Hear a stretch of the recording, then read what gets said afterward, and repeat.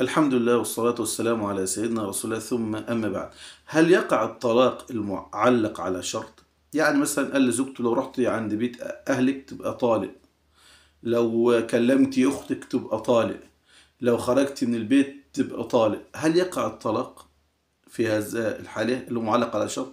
والله الأئمة الأربعة رضي الله رحمهم الله بيقولوا يقع بوقوع الشرط. قال لو رحت عند أهلك أنت طالق راحت يبقى طالق.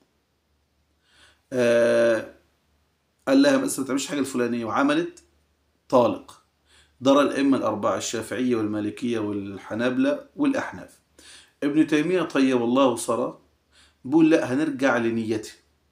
انت لما قلت لها ما تروحش عند بيت أهلك لو رحت عند بيت أهلك تبقى طالق أو لو عملت الحاجة الفلانية تبقى طالق أو لو كلمت الشخص الفلاني تبقى طالق. قال نرجع لنيته. هل كانت نيته تهديد أو نيته طلاق؟ قال لو نيته طلاق يقع الطلاق. لو نيته تهديد فيكفر كفارة يمين.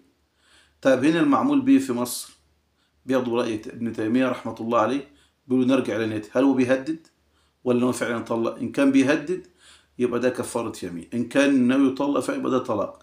وممن يأخذون برأي, برأي الأزهر هنا في هنا في مصر الشيخ مصطفى العدوي حفظه الله يعني بيرى أنه يرجع إلى نيته هل نيته يطلق أو نيته يهدد. والله أعلى وأعلم.